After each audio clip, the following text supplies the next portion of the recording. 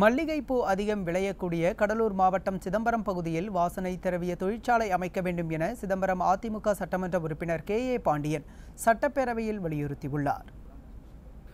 கடலூர் மாவட்டம் என சிதம்பரம் சட்டமன்ற தொகுதியில் ஆண்டு ஒன்றுக்கு சுமார் ஆயிரத்தி ஒரு மெட்ரிக் டன் மல்லிகைப்பூ விளைவிக்கப்படுகிறது.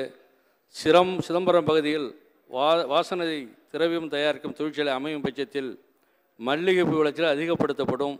விவசாயிகள் பயன்பெறுவர் மேலும் தொழிற்சாலை அமையும் பட்சத்தில் நேரடியாகவும் மறைமுகமாகவும் பலர் வேலைவாய்ப்பு பெறுவார்கள்.